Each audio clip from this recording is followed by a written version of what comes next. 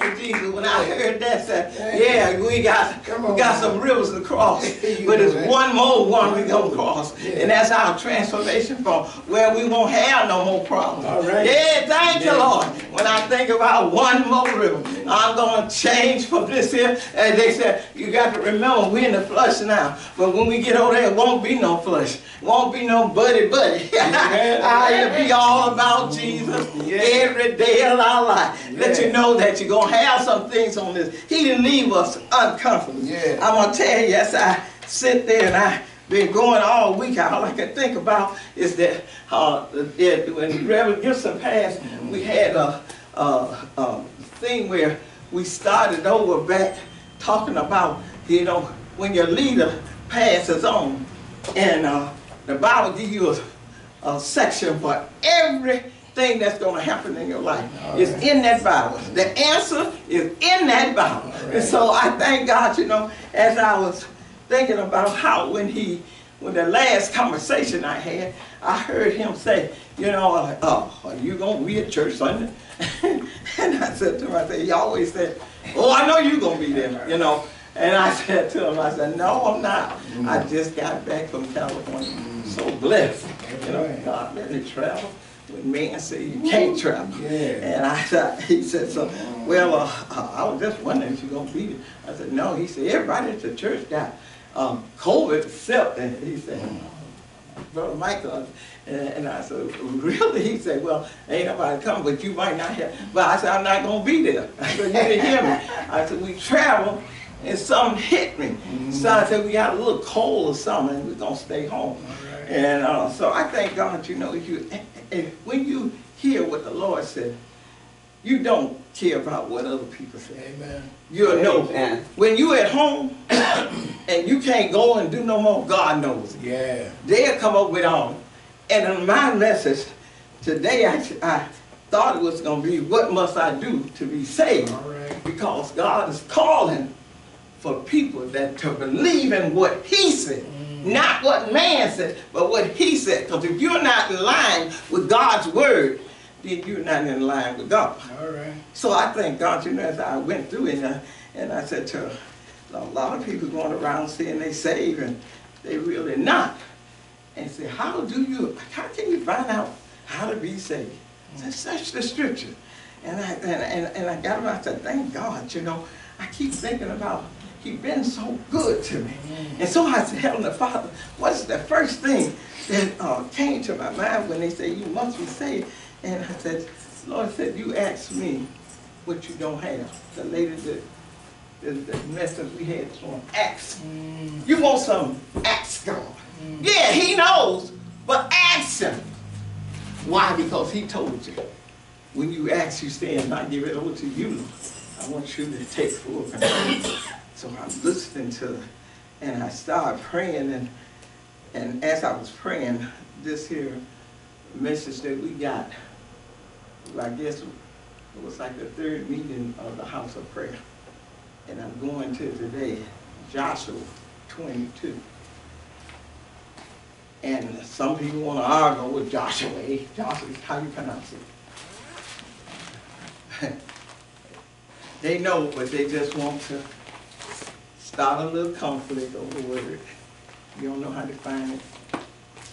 Just look out for the five and plus whole. Because said you can't miss it if you go in there and you know how to read your Bible, you'll know where it's coming from. Joshua 22.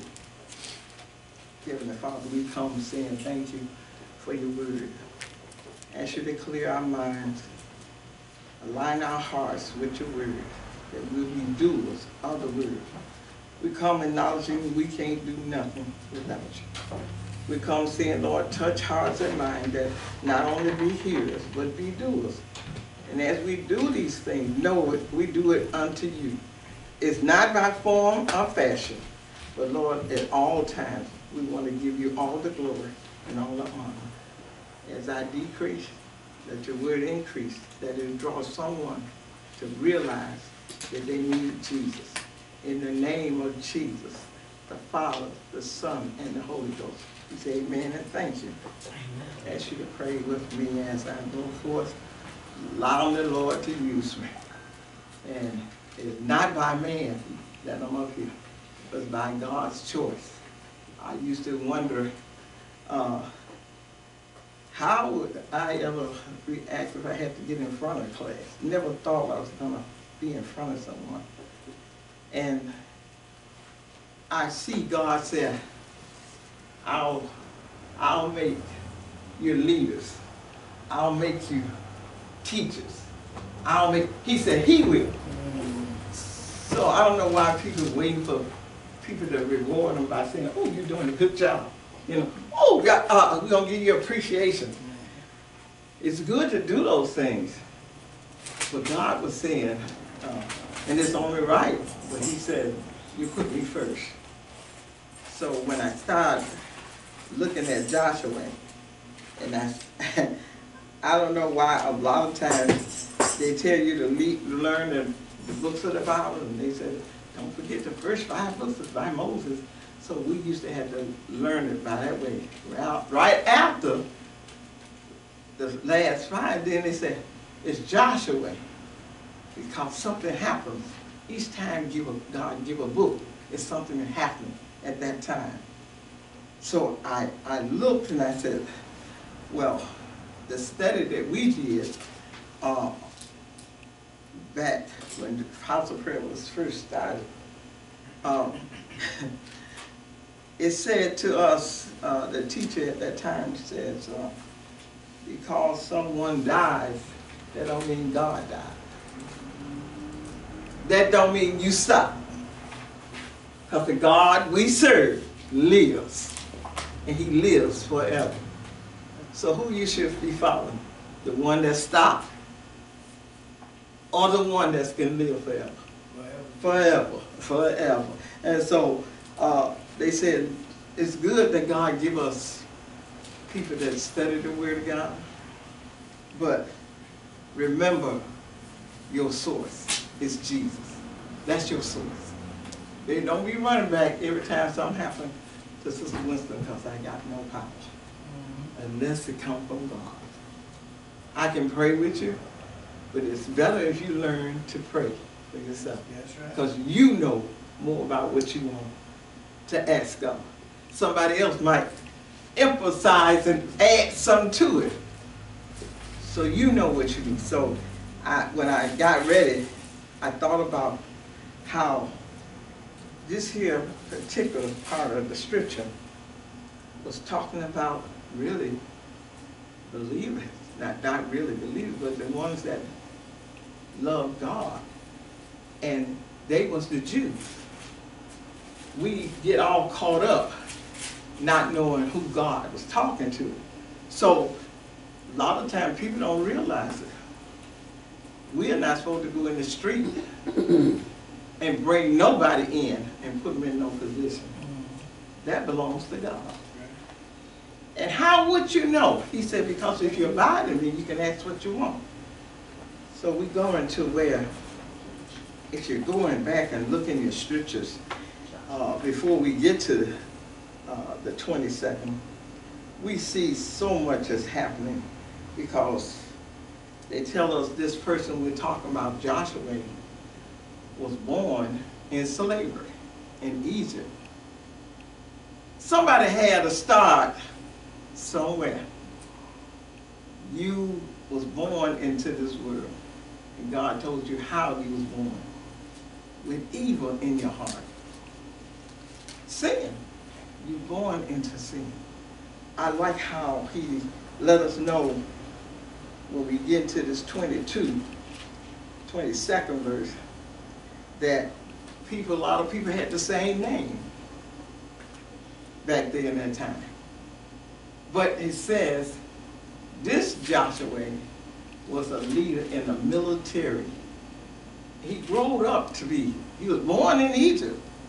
Here it tells us that before we get where we at now, they're saying that Moses, their leader, had died. And they tell me they moaned for 30 days, but it was a time for them to move on. Nothing of God dies when a man dies. nothing. Be of good courage. The 22nd verse starts. Joshua called the Reubenites and the Gadianites uh, and the half tribe of Manasseh and said unto them, Ye have kept all that Moses, the servant of the Lord, commanded you, and have obeyed my voice in all that I commanded you. Ye have not left your brothers these many days into this day, but have kept the charge of the commandment of the Lord your God. And now the Lord your God has given rest unto your brothers, as he promised them. Therefore now return ye and get you into your tents, and unto the land of your possession, which Moses the servant of the Lord gave you on the other side of Jordan. But take diligent heed to do the commandments and the law, which Moses the servant of the Lord charged you to love the Lord your God, and to walk in all his ways, and to keep his commandments, and to cleave unto him, and to serve him with all your heart, and with all your soul. So Joshua blessed them, and sent them away, and they went into their tents. Now to the one half of the tribe of Manasseh, Moses had given possessions in Bashan, Bashan but unto the other half they are, gave Joshua among their brothers on this side of Jordan westward. And when Joshua sent them away, also unto their tents, then he blessed them. And he spake unto them, saying, Return with much riches unto your tent, and with very much cattle, and with silver and gold, and brass, and with iron, and with very much raiment, divide the spoils of your enemy with your brothers. And the children of Reuben and the children of Gad and half tribe of Manasseh returned and departed from the children of Israel out of Shiloh, which is in the land of Canaan, to go unto the country of Glee, Galilee, to the land of their possession, whereof they was possessed, according to the word of the Lord by the hands of Moses. And when they came unto the border of Jordan, that are in the land of Canaan, the children of Reuben and the children of Gad and the half tribe of Manasseh built there an altar by Jordan, a great altar to see to. And the children of Israel heard say, Behold, the children of Reuben and the children of Gad and the half tribe of Manasseh has built an altar over against the land of Canaan in the border of Jordan at the passage of the children of Israel. And when the children of Israel heard of it, the whole congregation of the children of Israel gathered themselves together at Shiloh, Shiloh to go up to war, war against them. And the children of Israel sent unto the children of Reuben and to the children of Gad and to half tribe of Manasseh and to the land of Gilead. Phinehas had the son uh, of Eleazar the priest, and with him ten princes of each chief house, a prince throughout the tribe of Israel. And each one was head of the house of their fathers among the thousand of Israel. And they came unto the children of Reuben and the children of Gad, and to the half tribe of Manasseh, and said to the land of Gilead, that they spake with them, saying, Thus said the whole congregation of the Lord, what trespass is this that we have committed against the God of Israel? To turn away this day from following the Lord.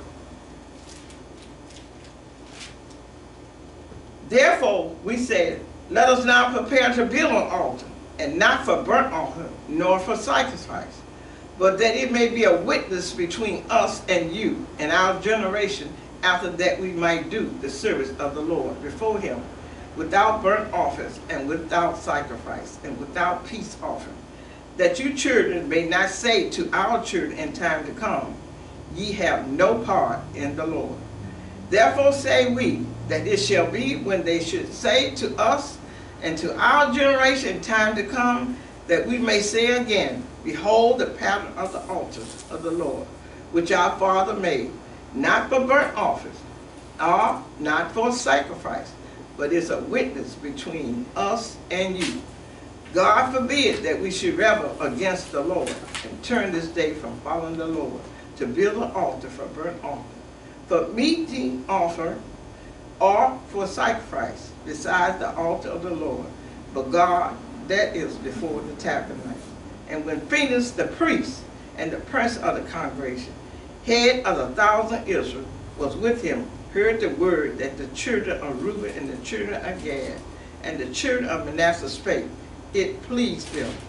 And Phinehas, the son of Eleazar, the priest, and unto the children of Reuben, and to the children of Gad, and to the children of Manasseh, this day we receive that the Lord is among us, because we have not committed to trespass against the Lord.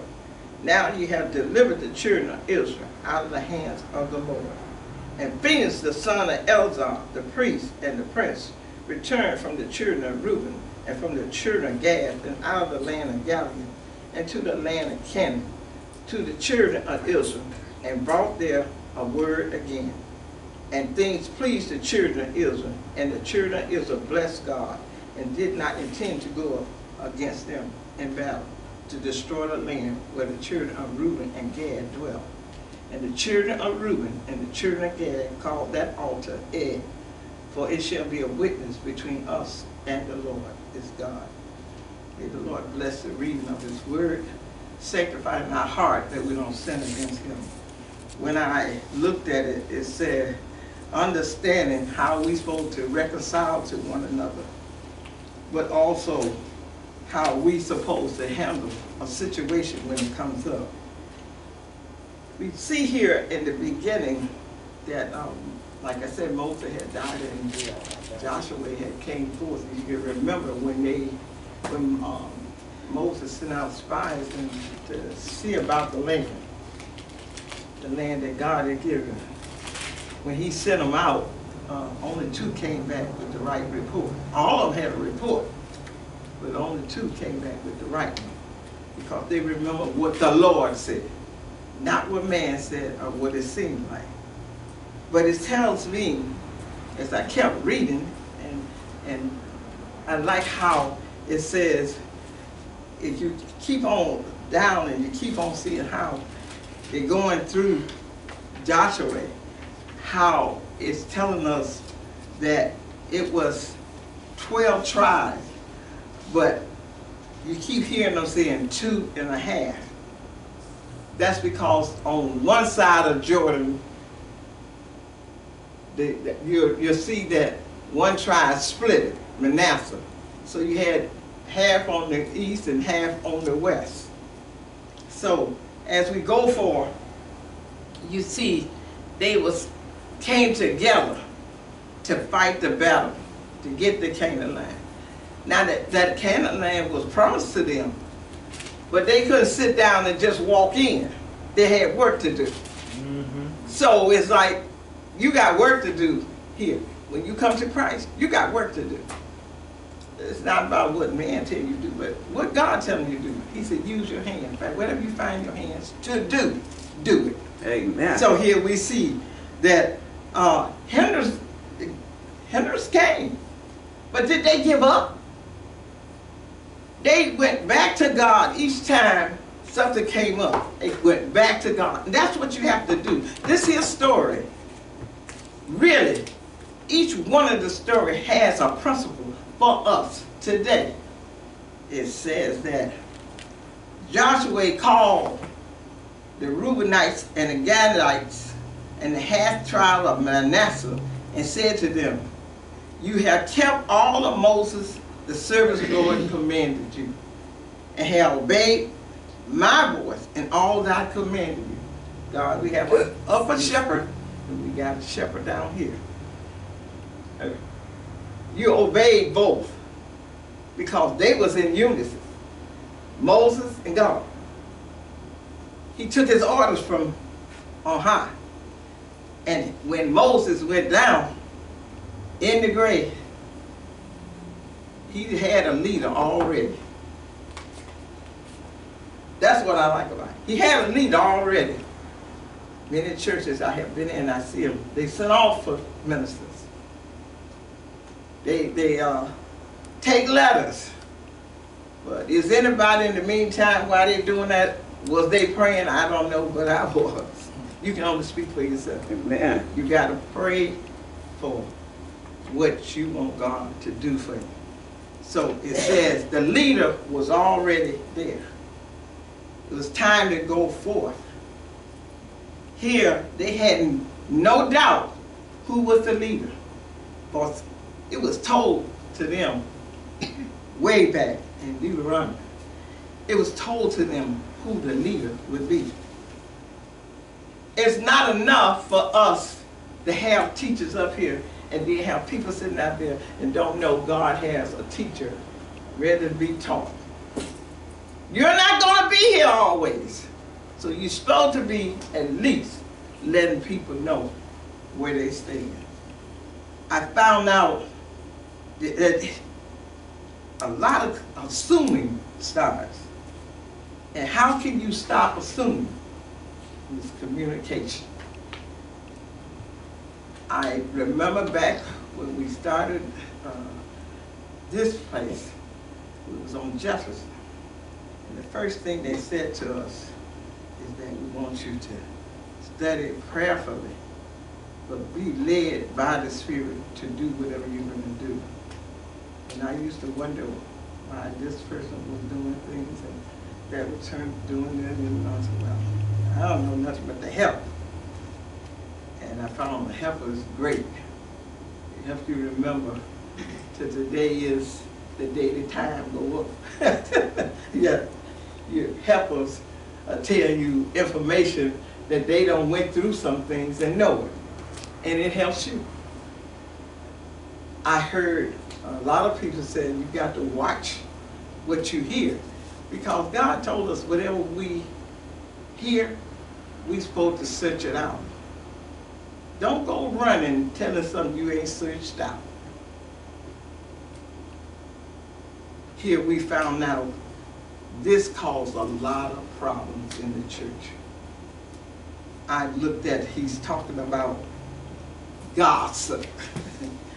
I like how this here let us know how when God allowed Joshua to do what he did, it said, a lot of people like to look at your age and say, you can't do this and that, but these people was 110, 80.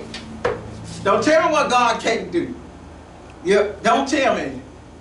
So you be looking at, but if God put him there, he said, I'll put, he put Joshua there.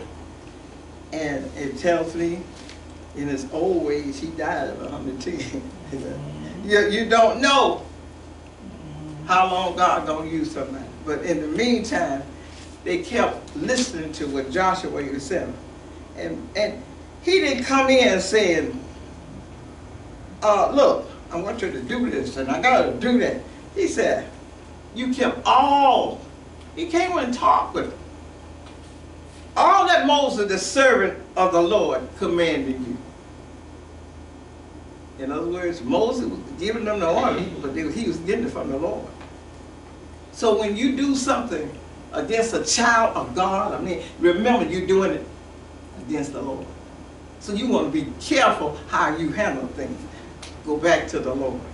He said, in seven years, they was out, these tribes, they got together, and they worked together. They know they had the Canaan land in front of them, but it was they got to fight to get that land. A lot of people say, stand still and see what God has done. Yes, but in the meantime, a, a, a soldier's on the move. So we see the soldiers now under Joshua, was under Moses. And he tell them how God told him, y'all work together. And you go and said, now they had to, they had got one part of, that's why we was reading, talking about Jordan River on that side. They was, had done fought and got it all settled. Enemy wasn't coming in over there. If it did, they was quiet. So he said, now we got to go on the other side. So, come and help us. Help us fight this battle. That's where the churches, when they see a church in trouble, They're supposed to come over and help. Help. What help do you need? Over and take over, but come over what do you need? Here it tells us that they got together and they went for seven years fighting. They left their families, went over. The other ten went over to help them fight the other part of the land. And when they got over there, and they all fought, and they said it, everything got settled, a promise came behind it. When you get through fighting on this side of Jordan River, and you cross over, that's when you, oh, we talk about the river, we talk about home now. When you cross over, everything gonna be settled. But he is saying they was talking about here on earth. They had to go back to their families, families they had left. They didn't just said no, no, everybody going with, but they took the one that was soldiers. And that's what the church is supposed to have, soldiers. those that want to actually fight the fight of God. Not man's way. No scheming, no conniving, but to stand on what God said, fight. Trust him. So they went over, and after, like I said, they got settled, they, they already was made promise. Whatever they had a war, they would take, they call spoil, all the good stuff, they would take. If I help you fight a battle, shouldn't I have part of the spoil? So they said, we all work this together, so we're going to all share this together. So it was divided among them. And every time they met, they had a representative from each one of their tribes. I like how he kept on telling them about what to do for the Lord. I like how when it got to this, they said, before you leave, we want you to exhort what you did for the Lord. But we want to bless you with some of the spoil. So here you see, I like he said, I'm going, you all leaving, going on the, on the other side of Jordan.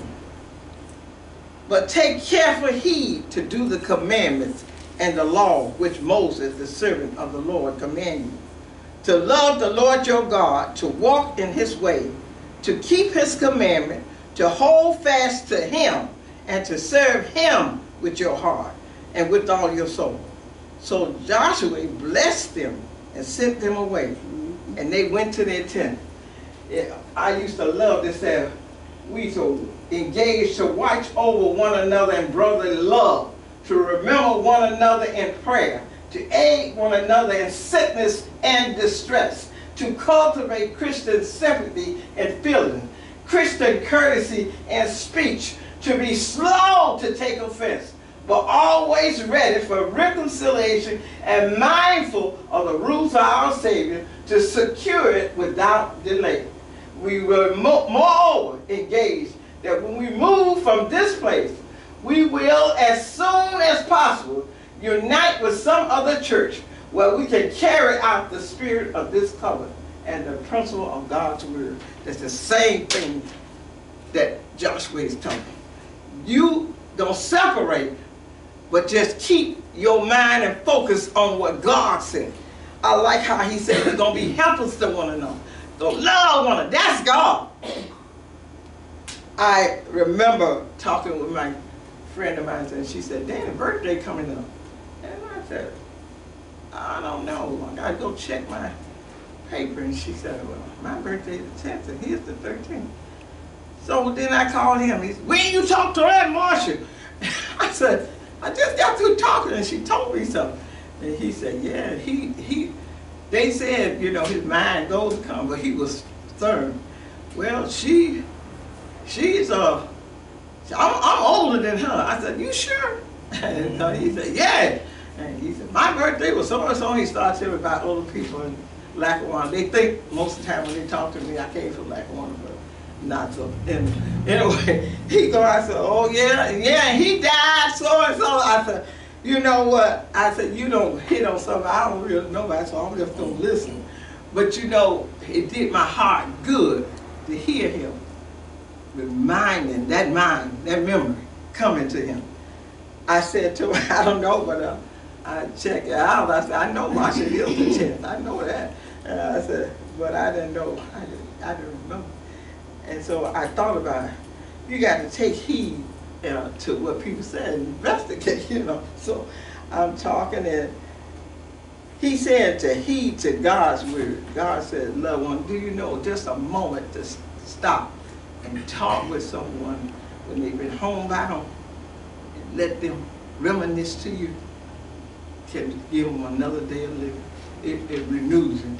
So it said they had gone and they don't fought and the, the possession had been, they already don't split it up. And he's telling them, okay, you can go back home now. You got husbands and, I mean, you got nieces and nephews and wives and children. So, you know, when you go away from home, you know, they can make do. But it's certain things they wait for you to come back to do. So they weren't going home empty-handed. And said, so he gave them not only exhortation, but a blessing. It's a blessing when you come to the house of the Lord and we see you. We say we heard you were sick and to see you, that's a blessing to us, to see you come back to the fold a lot of people don't make it. I like how he ordered and commanded them how to take care and to hear God. That they should give love to one another. Never forget that you're helpers to one another. He didn't uh, want them to get all mixed up in what other people were saying. God fixes so things that happen to us is for a reason. Here he saw, told them to walk obedience to God, not what man don't set up, to what God has set up. Here I like how he gives a, a picture of a proper relationship to God. See, serving God, you'll find out you need to hold fast to what God said and build a relationship means you got to spend time with God. And I used to thought, oh, I, I do. I read in the morning, I read in the afternoon. But he said time. And that means involving your heart, your, your, your home, your school, your work, all of that is what takes to, we have a relationship. It's like you don't meet me this year and then don't see me no more till next year. I mean, a lot of people don't even know what's the first book of the Bible. You, at least you should know the first and the last. You know, it, no, it just it takes time. You got to spend time with him to know what's in that book. Well, if somebody start talking about the beginning, you need to go where it, is. The beginning is. So here it says, Joshua told him to delight in the Lord and cling to the Lord. That came in with the sharing, not, uh, oh, I'm going to get this, and they fight over uh, what they don't spoil and stuff. Mm -mm. When it's given, it's given according to God's word. I ain't gonna tell you, uh, people ain't gonna start talking about you. You should give me. Oh, I should be here and there. But you got to make sure that you in right standing with God. Joshua went to God for his direction. So here, I see Joshua after he blessed them and, and send them away, like they say, like anything. When you send your children away, you be thinking, oh, what they gonna run into? Is, you know, if they gonna have enough food? Is see, don't get with the wrong crowd? You know? So it tells us that this two and a half trial. Start thinking about, oh, we're gonna go in Shiloh, they got the where you come and worship God and get, but pretty soon it's some about like when people come to church here, they forget it's other people out there of this fold. And they be talking about our house, out, yeah. So he says, so the, the tribe said, well, our generation gonna die out. What they gonna say? We ain't got no part when we don't fall for this? So he said to remind them that we do have a part. We want to do an altar. Well, there came what they talk about hearsay. Well, I heard and, and for, for our standard, we are good for, I heard, I saw, guess what? They said, he, the message got out to the other tribes. Manasseh, Gad, they building an altar. I don't seen it. So here we see it started out just being a symbol, but somebody start assuming. Start getting what they thought. The Bible tells us you got to order against a person, go to the person. But I don't find that like that. They'll take it to the congregation, but they come to you face to face. They come to you before they go to anybody else. this here is showing us how we should handle. All this here saying, they didn't go back to God, but they had someone that was a leader. When they heard what was on, they went to the tribes. Here, they was telling me that this altar was very impressive. It was constructed in the land of Canaan. It was an altar, truly. Practically, this could render as visible to anyone that's journeying in the homeland. They would see. The phrase to use to describe the altar is similar to that used to describe the burning bush. Thus, it would attest the tension of passerby. You see a, burn, a bush just keep on burning and never go out, it gets your attention. Well, this altar was built, so we draw the attention. And I, I know this, that a lot of people saying they look at churches when they go to them, oh, how nice the pews are. And I said, oh, boy, them people got some nasty attitude.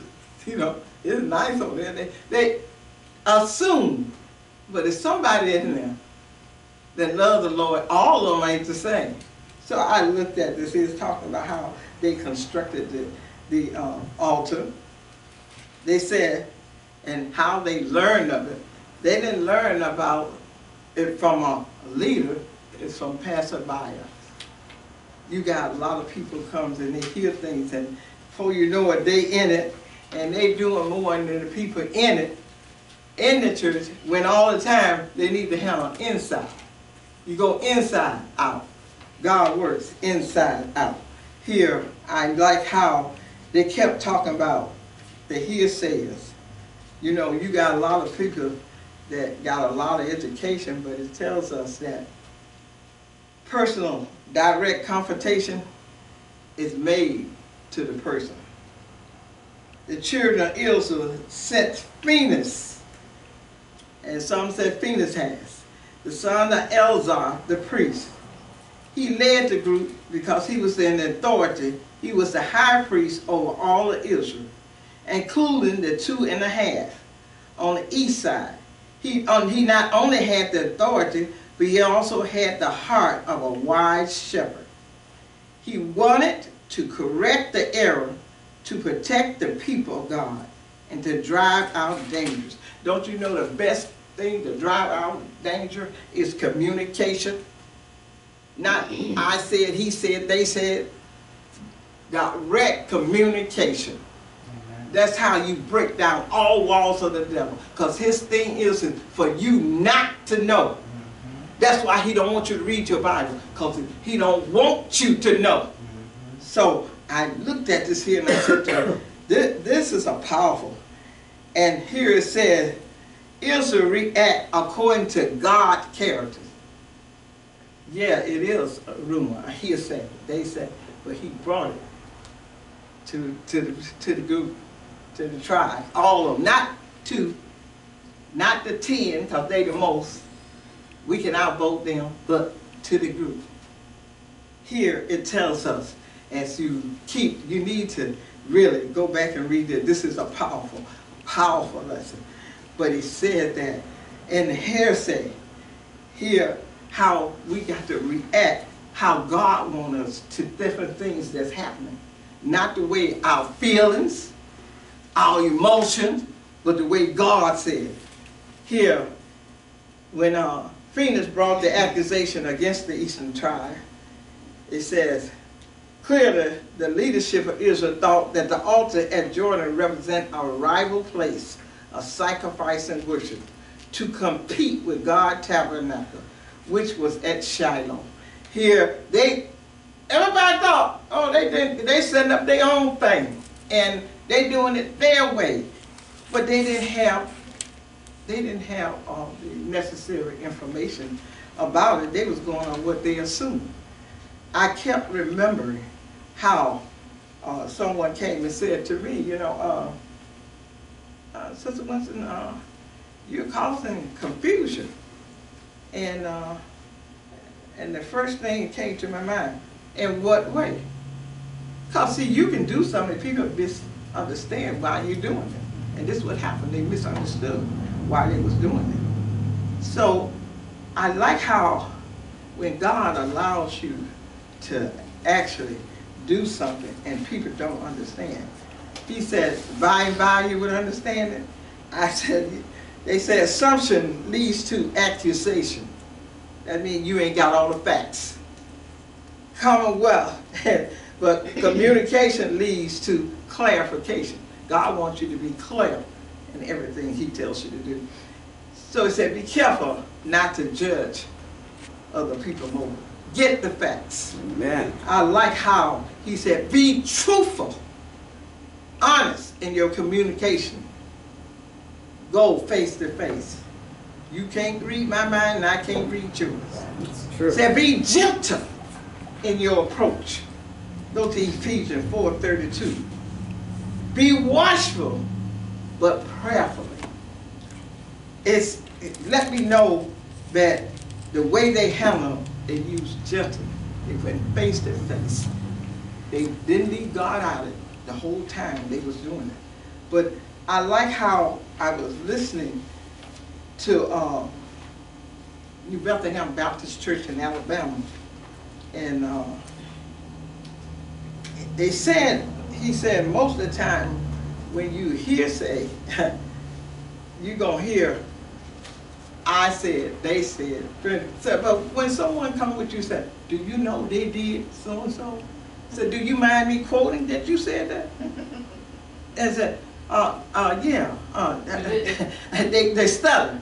Then you say to them, uh, so if you don't mind, because I didn't see this, you saw this, you know, and usually they back off. And then you can ask them, what evidence do you have? Who told you that? All right. When they don't want to give you that information, you know it's not of God. Because God said, go to the person. And, he, and if you leave or not, I'm going to tell you exactly what he told me. Pray before you go. Mm-hmm. Because sometimes God will reveal, it's to you. All right. So here Joshua, standing in the gap. Yet God had different ones in place. Joshua didn't bring this together. Phinehas. Because he had authority. See, God choose who he wants and puts it in place for a reason. I like how when I'm looking at it, I said, yeah. so consider your thoughts. Consider what you're saying. Consider that you're working for God and not of yourself. Amen. Consider that if you want something to work out, you got to go back to God. He got to be in the midst of it. Yes. If you hear somebody praising God, then you to praise. Not try to set up your own praise. Uh, um, no. He's singing it. That's a song about praise. I'm with you. you I, not that I have a good voice, but I know what he done did for me. And I know that that's a praise. Yeah, joy in the river. I'm bound to the cross. I'm working on that. Yes. And when it gets settled, I'm going home. To be with my Jesus And that's good news to me. Amen. Yeah, yeah. I, I don't care what the world gonna do. I'm concerned, but I'm gonna tell you, my care is what brings it. Because when he calls me, it ain't gonna be on what Sister Prince did. That's right. It's gonna be on what Sister Winston did. It ain't gonna be what on Chrissy do. What Chrissy do got to stand for herself. You got to stand for That's right. yourself. So when I looked at this lesson, it kept saying, be watchful, but be prayerful. Be careful about how you handle things, because you want God's character. We're getting ready. The war is on, but we got to fight it together. Amen. I might not can do what you can do, but you won't know what I can do until I get there and say, I can't do it. You can't speak of it. Because God can use that child back there. Mm-hmm. Like I said, they got a 12-year-old now preaching, and boy, Chrissy just found him one day. We've been following. God using whosoever will. And you hear this boy, and you say, oh, he must be in a religious family. But then he, he come out with things like, I got in an accident. Angels lift me up, car all crashed up. I'm headed to preach here.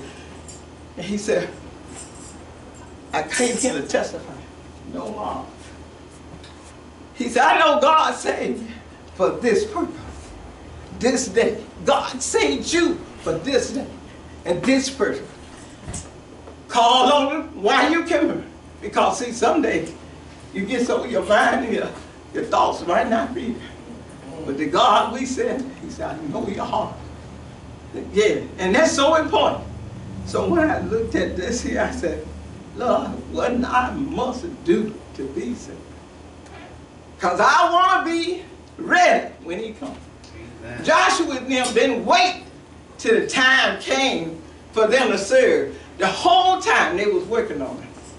They was getting the soldiers ready, putting on their helmet of salvation.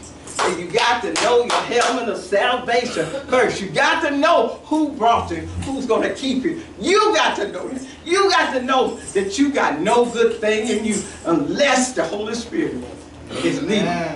I don't care if you say, yo, you ain't, you know, you ain't got no good thing, in you said, yes, but with Christ I do. Righteousness.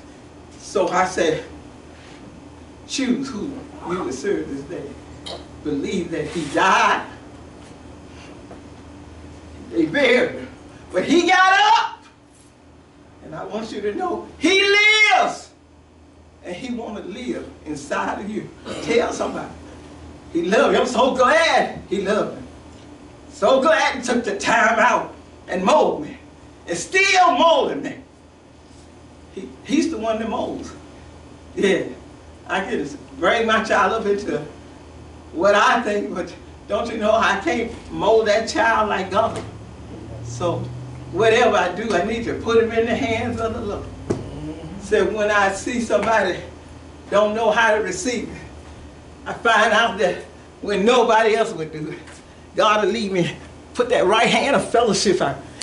They said, give me a grip like you love me. And oh, they got a strong grip. They mean it. You see somebody just drop their hand like that, they don't love in it. But when you grip my hand, you saying, I care. I care what you just said to me. It's something about the brotherly love that God give us that these people knew because they, we got a battle that go on, y'all. And the battle got to be fought with the sword what God gave you, Good God. not what somebody else did. Because we are headed to a better place. And you won't get there any kind of way. Let God lead you all the way. Let Jesus lead you. Uh, Let Jesus lead you. Uh, Let Jesus lead you all the way. All the way from earth to heaven. Let Jesus lead you all the way.